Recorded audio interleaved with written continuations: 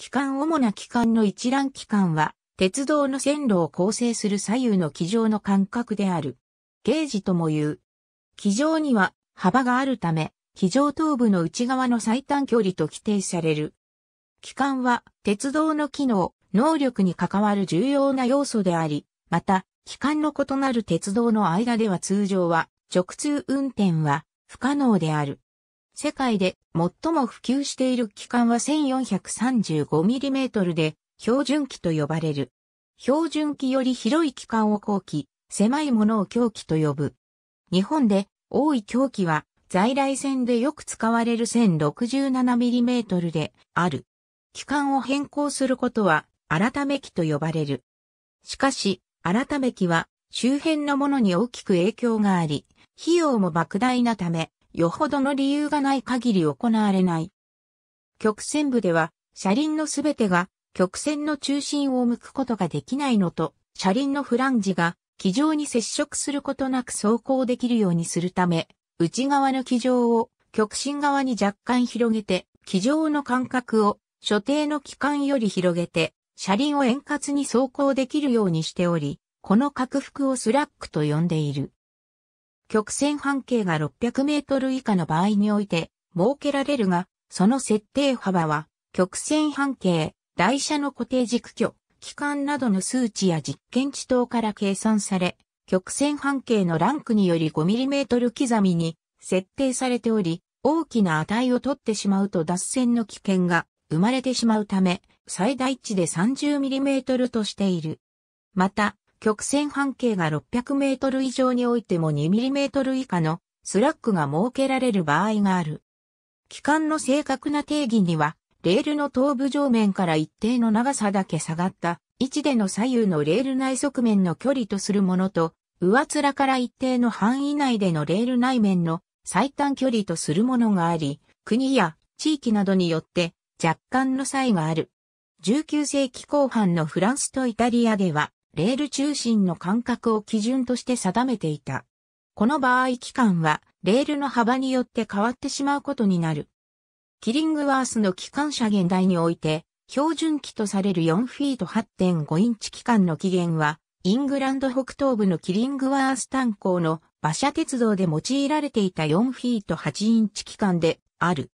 なおキリングワースの車輪間隔の起源をさらに古代、ローマの馬車にまで遡ることができるとする説もあったが、後に否定されている。1814年、ジョージ・スティーブンソンがこの炭鉱鉄道のために蒸気機関車を製造した。スティーブンソンは、その後他の炭鉱向けにも機関車を製造し、1823年には、ロバート・スティーブンソンカンパニーを設立したが、ここで製造された機関車も同じ軌間で設計されていた。スティーブンソンは各地の鉄道で同じ機関を使った方が機関車や諸設備の量産に都合が良く、また将来これらの鉄道が相互に接続された時にも便利であると考えていた。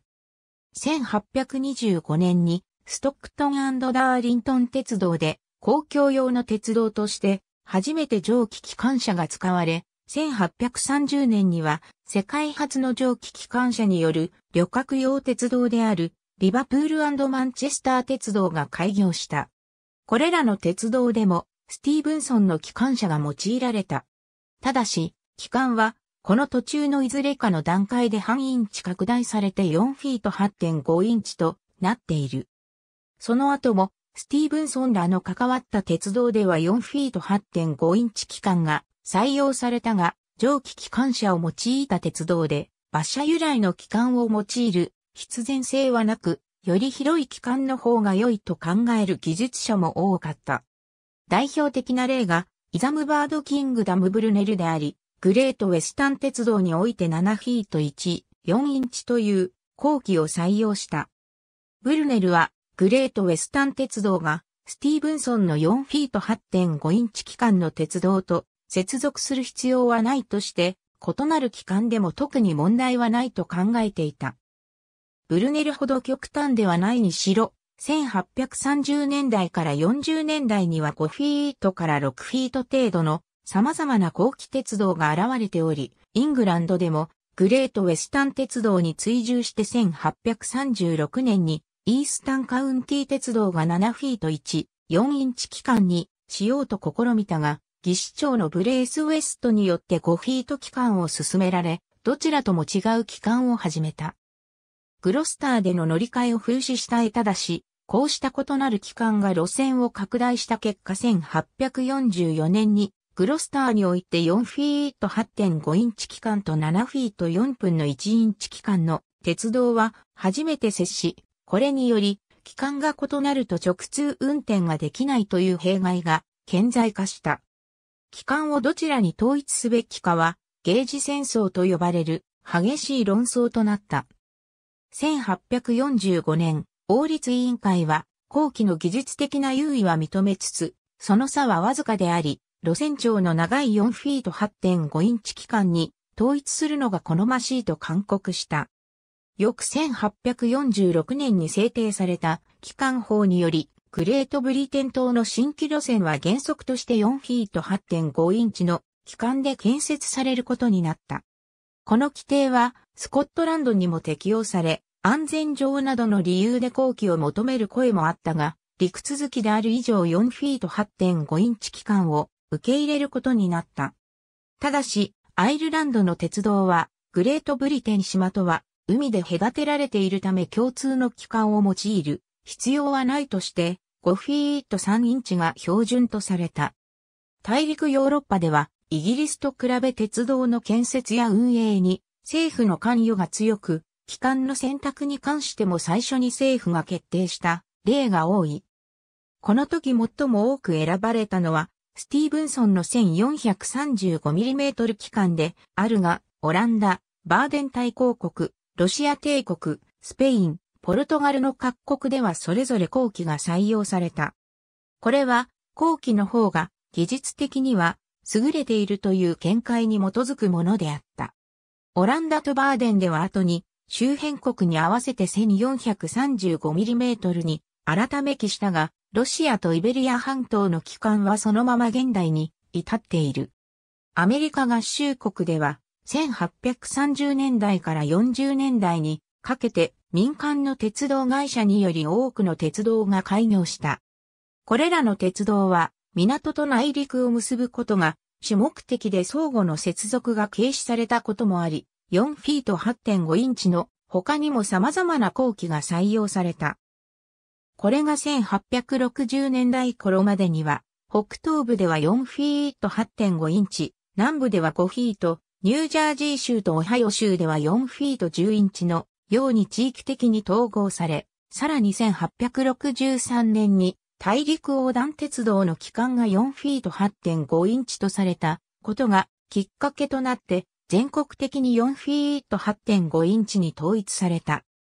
カナダでは1851年に5フィート6インチを標準とする法律が制定されたが、1870年に廃止され、アメリカ合衆国との直通の必要から4フィート8.5インチに改め記された。英領インドでは最初の軽かった周辺は4フィート8.5インチ期間で始まったが、1851年以降ダルハウジー、公爵ジェームズ・ラムゼイ総督により5フィート6インチ機関が標準とされた。ダルハウジーはイギリスの経験から最初に機関などの規格を統一しておくことが重要であると考えていたが、インドはイギリス本土と直通するわけではないので独自に裁量を選ぶべきだとして4フィート8.5インチがイギリスで統一されたのはあくまで一地方の状況から偶然できたもので、鉄道のベストとは限らないとしたが、ブルネルの7フィート1、4インチも大きすぎると考えたのか、この間に最良のものがあると自身は6フィートを主張したが4フィート8.5インチ組と話し合った結果5フィート6インチでまとまった。オーストラリアでは後の各州に相当する各植民地が独自に鉄道建設を行った結果、最初のサウスオーストラリア州は4フィート8.5インチ、次にニューサウスウェールズ州はアイルランド式の5フィート3インチで、ビクトリア州と前述のサウスオーストラリア州もこれに合わせ改軌。しかし、ニューサウスウェールズの技師長がアイルランド人からスコットランド人に変わると、今度は4フィート8.5インチになるなど混乱が続き、1870年代の狭軌ブームの時代もあって 1067mm の州も加わるなど、州ごとにゲージが分断されたまま発展が続いて、現在に至っている。ラテンアメリカ各地の鉄道の軌間は建設の始まった時期により異なり、1837年から1851年までの6例では、すべて 1435mm 期間、1854年から1863年までの6例はすべて後期である。1865年にウルグアイが 1435mm 期間を採用したのを挟んで、以後はもっぱら狂気となる。フェステニョグ鉄道馬車由来の機関より、意図的に狭い機関を使った初期の例としては、1836年開業のウェールズのフェステニョグ鉄道の1フィート11.5インチがある。ただし当時は、こうした狂気鉄道では、蒸気機関車を用いることはできなかった。1860年頃からは、狂気でも実用的な蒸気機関車が製造可能になった。ノルウェーのカール・アブラハムピルは、同国西部での鉄道の建設にあたり、3フィート6インチ機関がコストと能力のバランスの取れた理想的な機関であるとした。ピルはイギリスで技術教育を受けており、その見解はチャールズ・フォックスをはじめとするイギリスの技術者たちにも支持された。さらに1865年頃からは、フェステニョグ鉄道の技術者、チャールズ・イーストン・スプーナーやイギリス商務省のヘンリー・タイラーらによって、3フィートや2フィート6インチの軽便鉄道のアイデアが提唱された。スプーナーらは従来の標準機や後期の鉄道は無駄が多く、狂気の軽便鉄道こそが将来の鉄道にふさわしいと主張した。1860年代後半から1880年代にかけては、フォックスやその影響を受けたイギリス人を中心とする技術者の指導により、アジア、アフリカ、ラテンアメリカなどの鉄道未開業地域において 1067mm や 1000mm、914mm などの機関での鉄道建設が相次いだ。1872年に開業した日本の鉄道が 1067mm 機関を採用したのもその一例である。またケープ植民地やニュージーランドでは一旦標準機での鉄道建設が始まっていたものが狂気に切り替えられている。タイやインドネシアでは先行していた標準機鉄道とは別に狂気の鉄道が建設され、その後長い時間をかけて狂気に統一された。インドとオーストラリアでは、すでに後期や標準機の鉄道網がある程度発達していたにもかかわらず、狂気の鉄道も並行して建設されるようになった。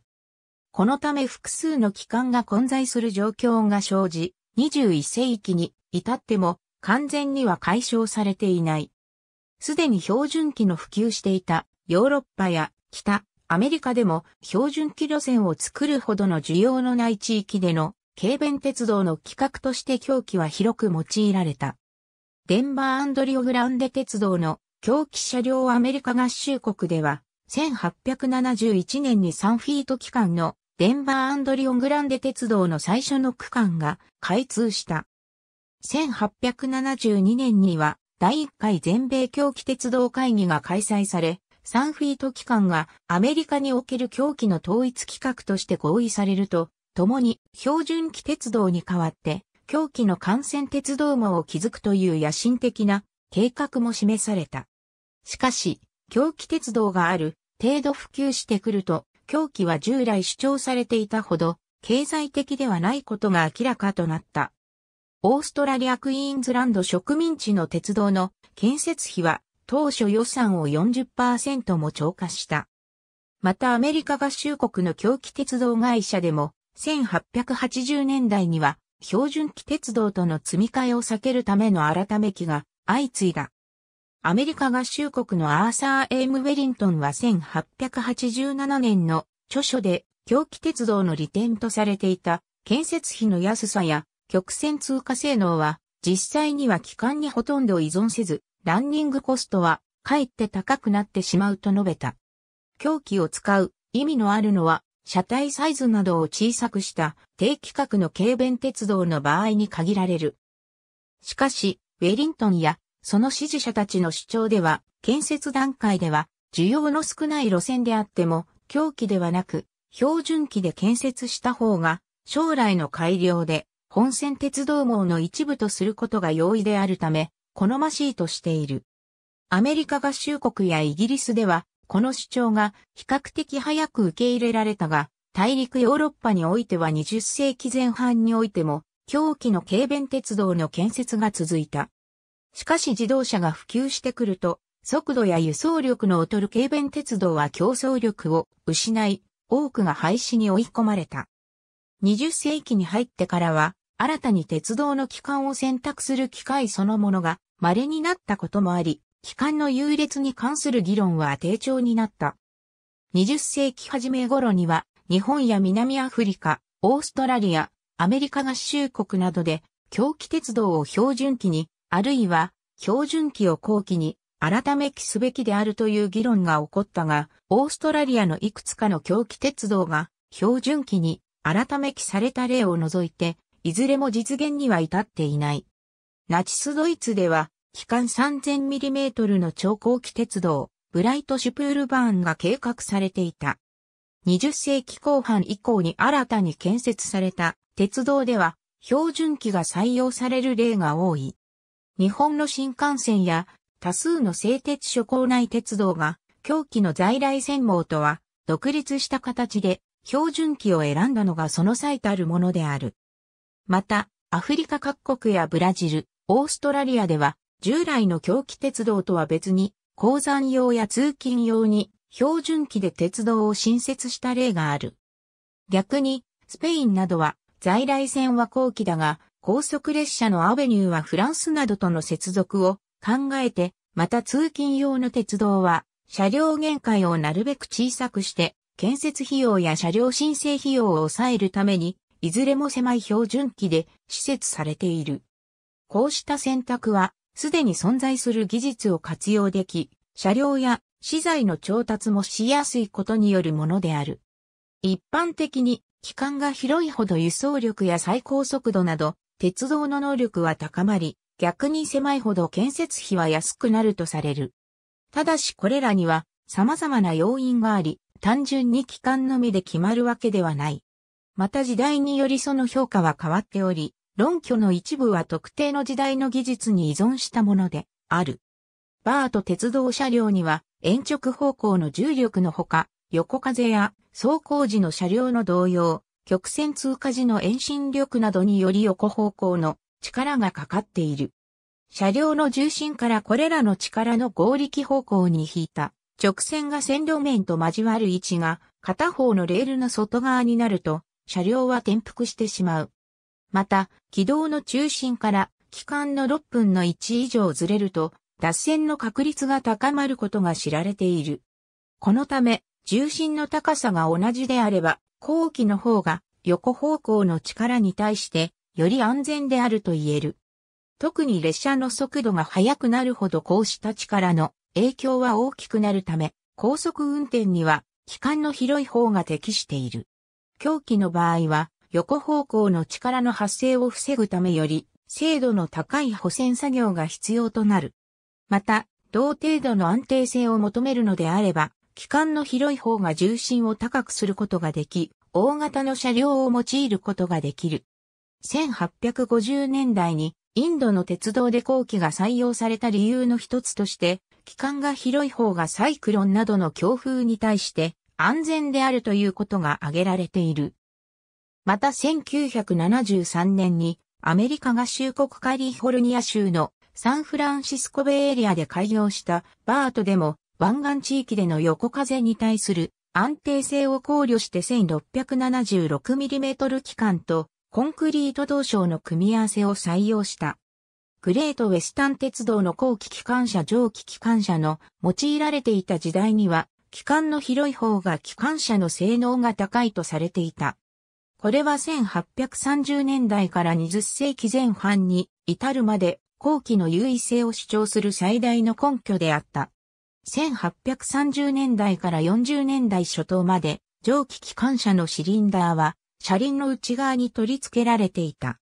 これはシリンダーを外側にすると蒸気が空気で冷やされて効率が落ちると考えられたこと、また機関車の車体に左右交互に力が加わるため、当時の技術ではこれに耐えられるような台枠が作れなかったことによるものである。このため、シリンダーの大きさは機関に大きな影響を受けた。加えて、この時代の弁装置は大きく、頻繁な保守作業を必要とした。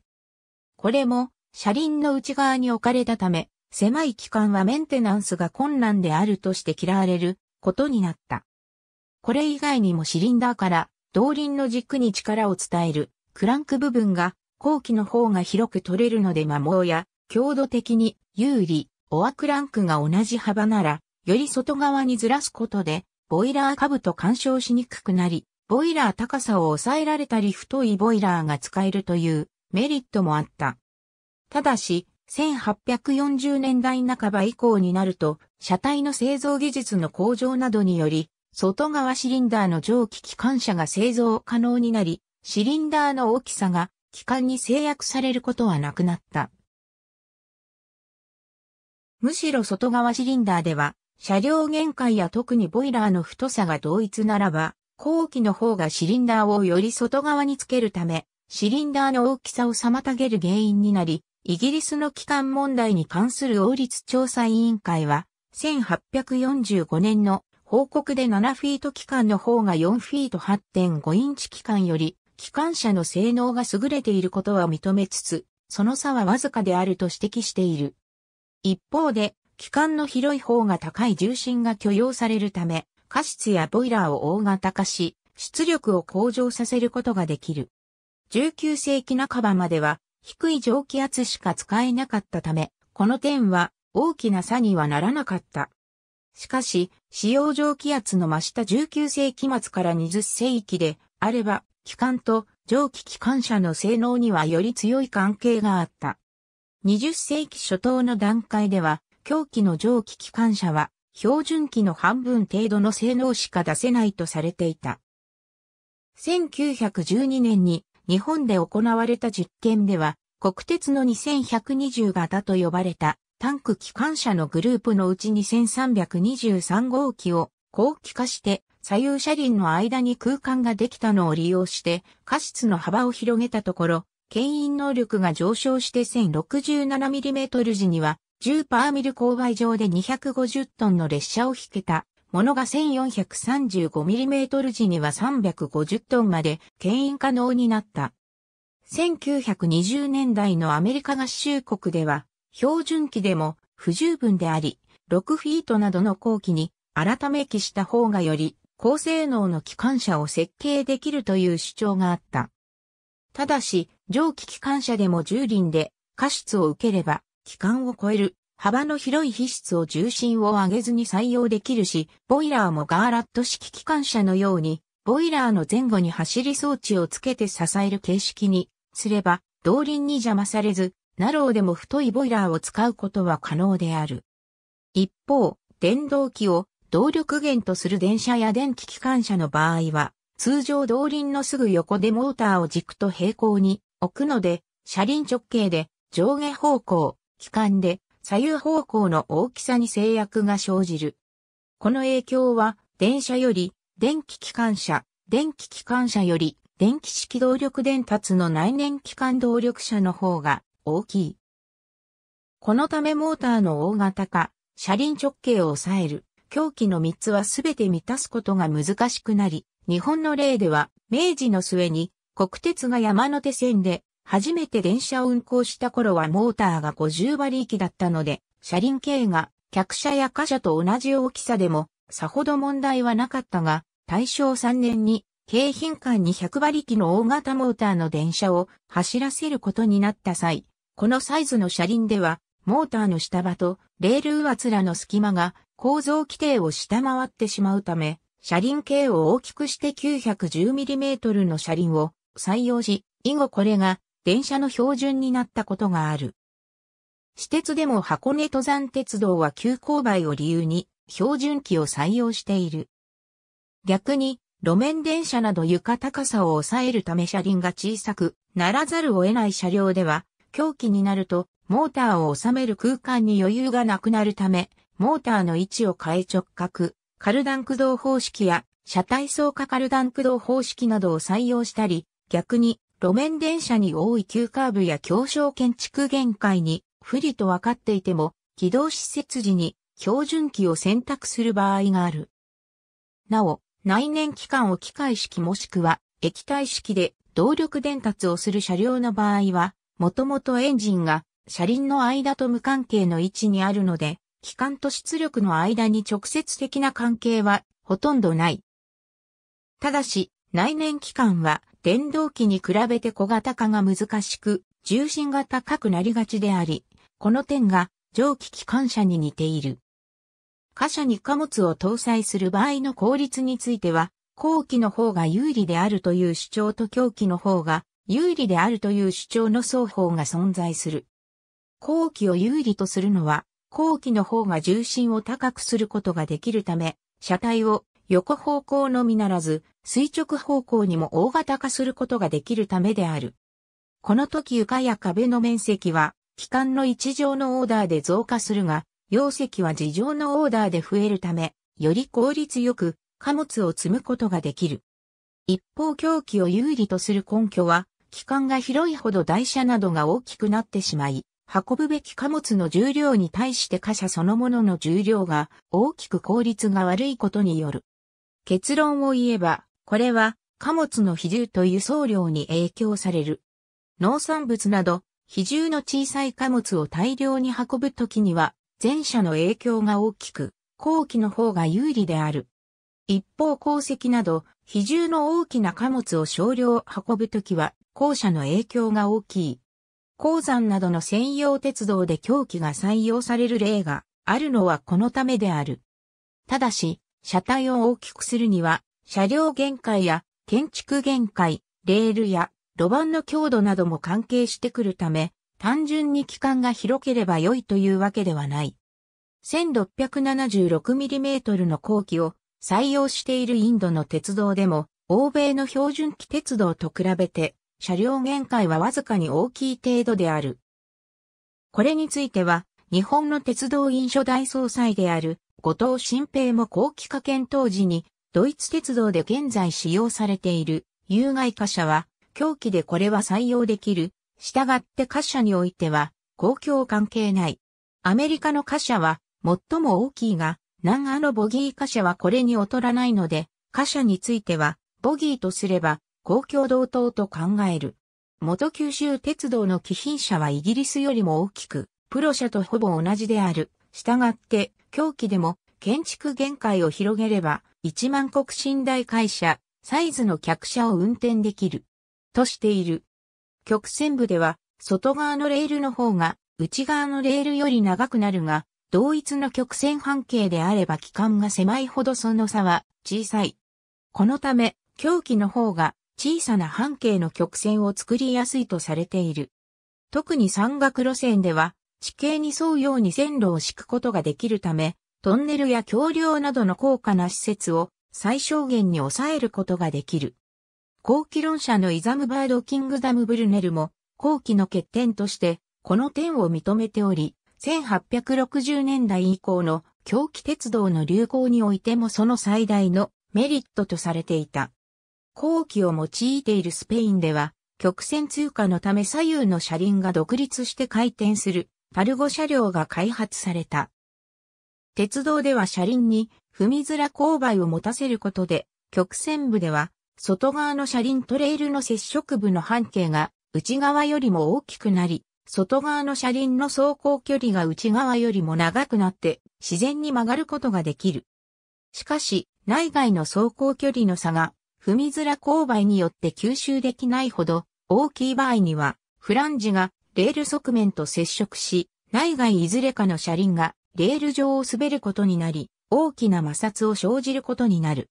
一方で、鉄道車両の曲線通過能力において、機関の違いは本質的ではないとする見解もある。複数の車軸を持つ鉄道車両では曲線部では車輪の向きとレールの向きが異なってしまう。この角度をアタック角と言い、これが大きいほど走行抵抗が大きく、脱線の危険も高まる。アタック角は車軸の間隔に依存し、機関とは関係ない。転向可能なボギー台車を用いることで、アタック角を小さくすることができる。実際、19世紀後半のアメリカの標準機鉄道では、ボギー台車を用いることで、同時代の二軸車主体のヨーロッパの狂気鉄道より小さな曲線半径を実現していた。ボギー台車を用いたとしても、今度は車両の進行方向と台車の向きが異なるため、台車を転向させるための大圧が加わる。これは台車の中心間隔に依存する。アーサー・エム・ウェリントンは1887年の著書において、車体各部の寸法がそのままで機関のみを狭くしても、こうした曲線通過時の抵抗にはほとんど影響がなく、台車中心間隔を同時に小さくすることで、初めて抵抗を減らす効果があると論じた。彼はさらに、機関の広い方が高重心が許容されるため、機関車や貨車の性能は同程度のまま車軸や台車の間隔を縮めることができ、曲線通過に適しているとすら述べている。ウェリントンの見解はなかなか受け入れられなかったが、例えば、ペルーにおいてはこの説に基づき山岳路線を標準機で建設している。レールを支える枕木の長さや、その下のバラストの量は、機関の大きさに直接影響される。狂気の鉄道ほど軌道に占有される幅は狭くなる。19世紀末から20世紀前半のヨーロッパの軽便鉄道は、多くが既存の道路の橋を使って敷設されたため、この点が狂気を使用する大きな利点となった。一方、軌道を支える路盤の強度や橋梁の設計は走らせる列車の重量や速度によって決定され、機関にはほとんど影響されない。2001年に南アフリカでハウトレイン建設の際に行われた試算では、1km あたりの建設費は標準機の場合180万ランドであるのに対し、ケープ機関であれば160万ランドと見積もられた。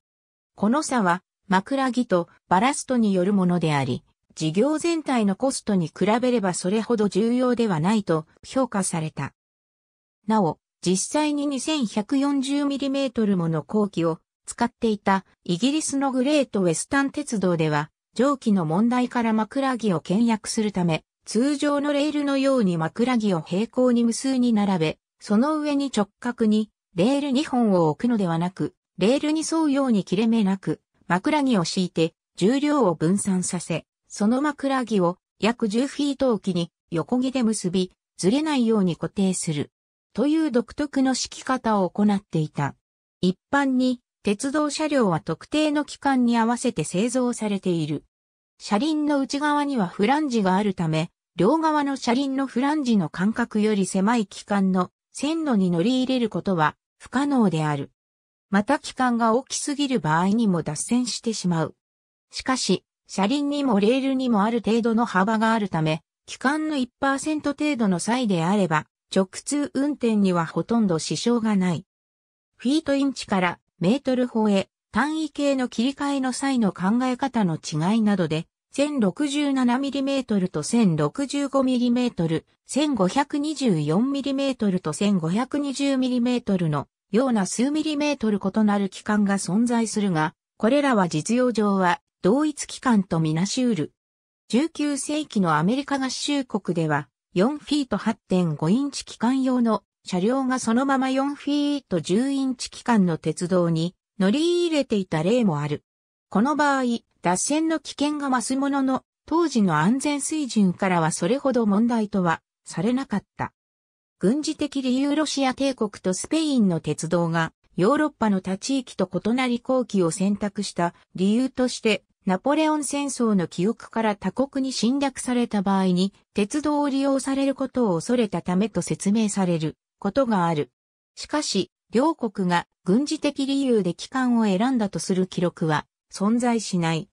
両国とも鉄道が開業したのは1830年代から40年代の後期優位論が盛んであった時代であり、機関を検討した技術者は4フィート8.5インチよりも広い機関の方が優れていると主張した。また、将来他国の4フィート8.5インチ機関の鉄道と接続される可能性については軽視している。ロシアが侵略に備えて、異軌間を選んだとする説の初出は、1866年にイギリスのタイムズ紙に掲載された特派員報告で伝聞の形で伝えている。また、ロシア交通省は1841年の報告書で鉄道が敵に利用される可能性について軍が退却するときに線路を破壊すればよいと記しているが、軌間の違いには言及していない。また、他国の侵入防止目的説の最大の問題点として、これらの国が後期を採用している点があり、機関は狭める方が楽であり、実際に日本が日露戦争中に満州にあった5フィート機関のロシアの鉄道を改めきして3フィート6インチにしてしばらく使用していたケースがあるので仮想敵国より機関を狭くしないとこの目的には使用できない。スペインにおいては1856年にフランス国境近くの鉄道にフランス人が出資しようとしているのが国防上問題視された際に経営者が機関が違うため侵略に使われることはないと回答したのがおそらく初である。また、隣国と異なる機関を用いることは敵に攻められた場合には有利でも逆に攻め込む場合には不利になる。実際ロシアは、ロト戦争の際ルーマニア公国を経由して、オスマン帝国に攻め込んだが、ルーマニアの鉄道は標準機だったため、国境で貨物を積み替える必要が生じ、平坦上の大きな問題となった。第一次世界大戦の序盤においても、ドイツ領東プロイセンに侵攻してからは鉄道を使うことができなかった。これがタンネンベルクの戦いの範囲の一つとなった。なお、プロイセン王国においては、フランスやベルギーと同じ機関を使うことについて、一部の交換が侵略に用いられる可能性があると反対したが、退けられている。その他鉄道会社の経営上の理由から、あえて他鉄道と異なる機関を採用したと考えられる例は存在する。1841年に開業したアメリカ合衆国のニューヨークエリー鉄道は、アメリカ合衆国北東部で一般的であった4フィート8.5インチ機関ではなく、6フィート機関を採用した。これは、エリエーザー・ロード社長の意向によるところが大きい。ロードは、ニューヨークエリー鉄道の設立にあたって、顧客が他の鉄道に一掃することのないように、同鉄道を他の鉄道と接続させないとする免許を得ていた。しかし、免許条件は将来変更される可能性があるが、機関は要因には変更できないとして、他鉄道と異なる機関を採用した。もっとも、1845年のロード社長の退任後は、機関の違いはむしろ経営上不利であるとして、しばしば株主から批判を受けている。また、1853年に開業したアメリカ合衆国メイン州のポートランドとカナダのモントリオールを結ぶ鉄道は5フィート6インチ機関を選択した。その理由の一つがポートランド側の出資者の意向によるものである。ポートランド港はボストン港と競合関係にあるため、この鉄道を利用したカナダからの貨物がボストンに奪われないように、ボストン周辺の鉄道とは異なる機関にしたのである。ただし、こうした事情は、モントリオール側の出資者には無縁のことであり、後期が技術的に優れているという当時の風潮の方が、より影響したと思われる。異なる機関の鉄道が接続する地点を機関不連続点という。通常は、列車は機関不連続点を超えて走行することはできない。これに対して様々な対処法がある。第一次世界大戦、西部戦線における標準機列車から軽便鉄道への貨物の積み替え最も簡単な対策は、機関不連続点において旅客の乗り換え、貨物の積み替えを行うことである。これには特別な設備は何も必要としない。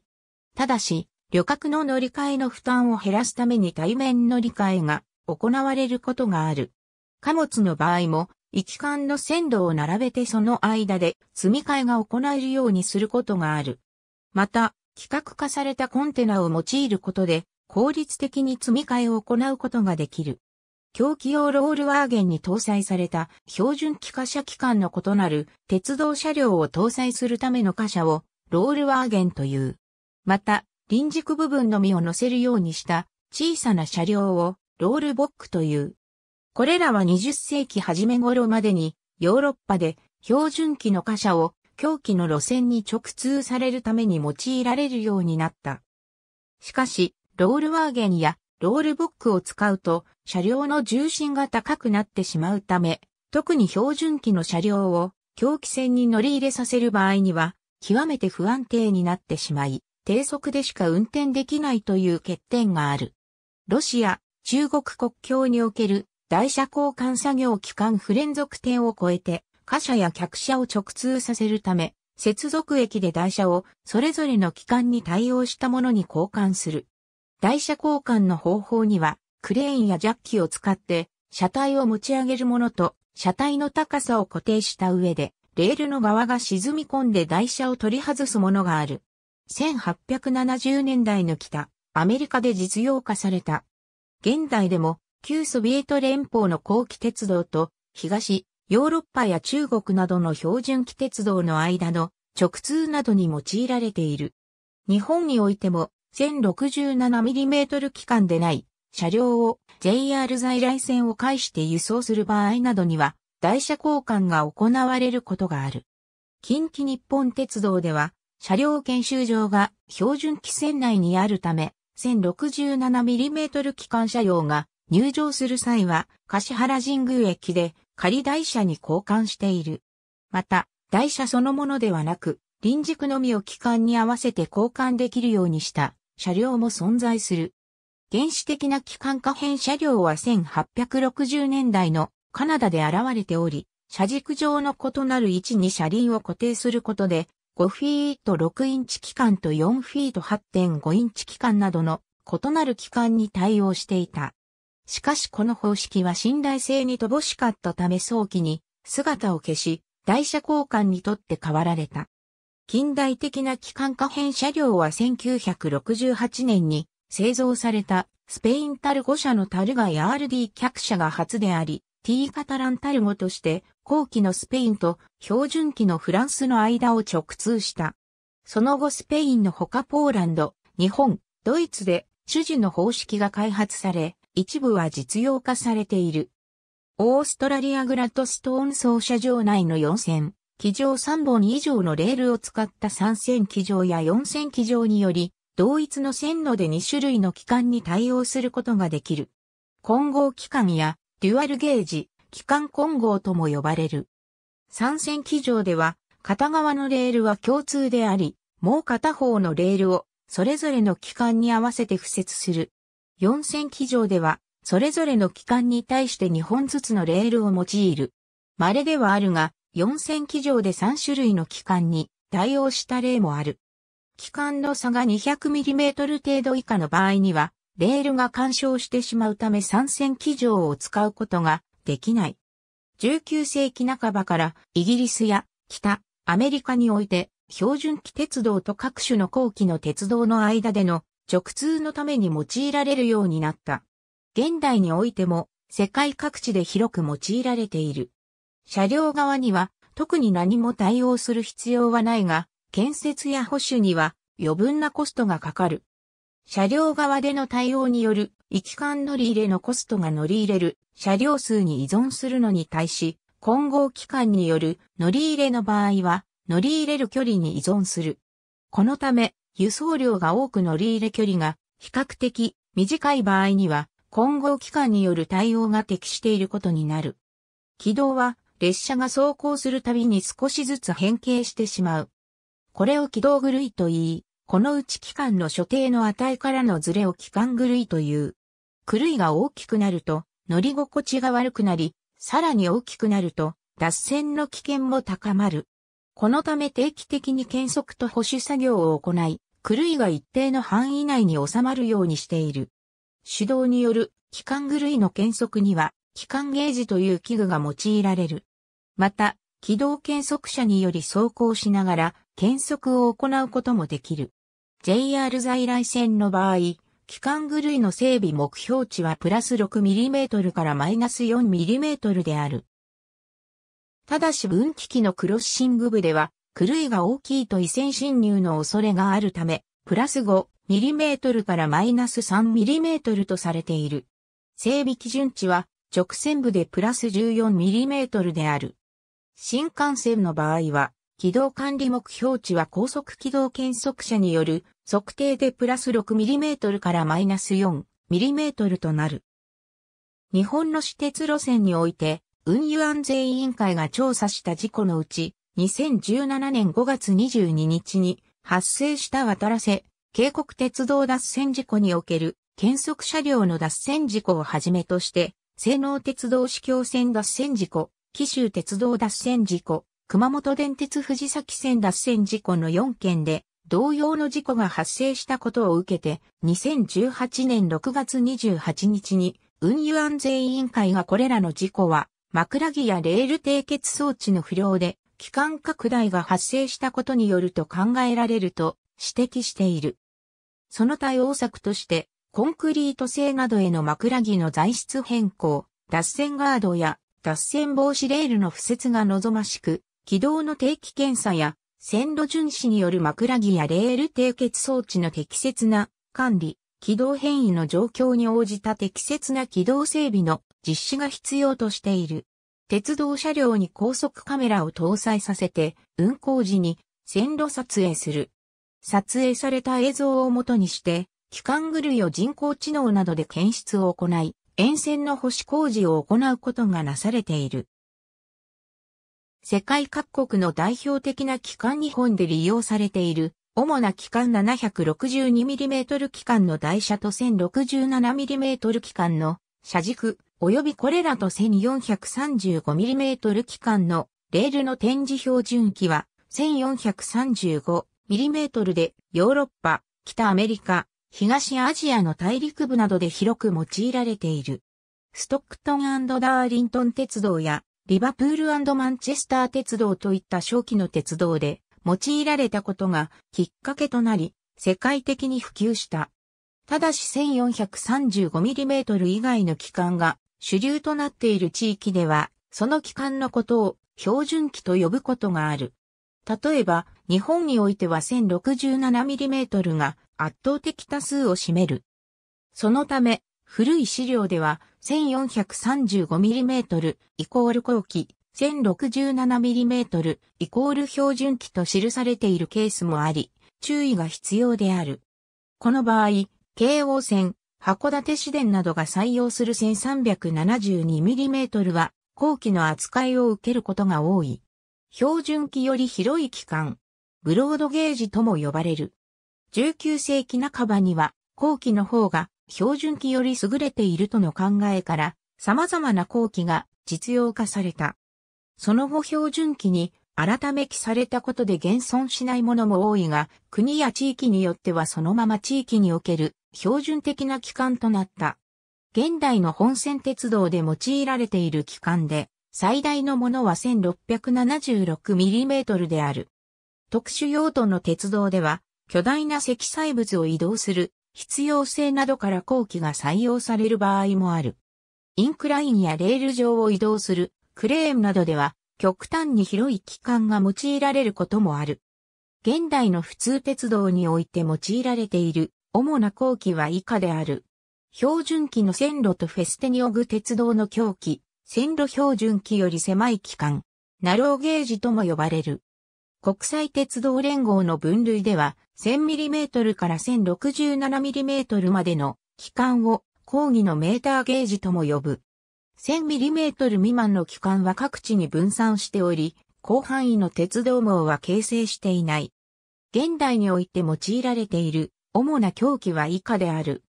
営業用の鉄道として認知されているもののうちで、最小の期間は、イギリスのムルウエストハイランドレールウェイと、ウェルズウォルシンガムライトレールウェイの 260mm である。